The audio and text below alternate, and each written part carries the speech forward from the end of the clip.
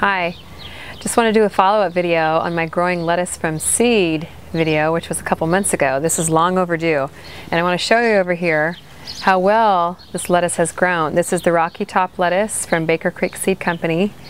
And you can see it's like almost above the top of my pot now and I've been using it um, in salads. We've had some really great salads from this lettuce. It's a beautiful variety. It's got some purple and some greens in it as well.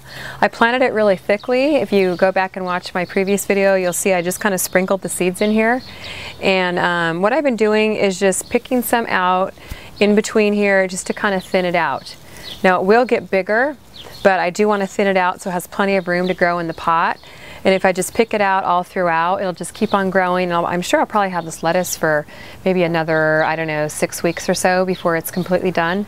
But what I like to do is plant, um, I planted this um, a couple months ago, and then I also planted this little pot here maybe a month or so ago, and you can see it's much smaller. And I can also begin thinning this out to give it a little more room to grow in here.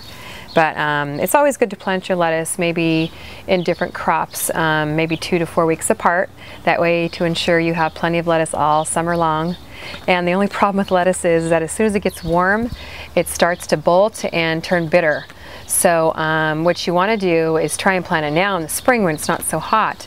But if you do plant it in the summertime, just make sure you provide it with some shade. Like right now it's um, afternoon and I keep it on my deck where it's nice and shady.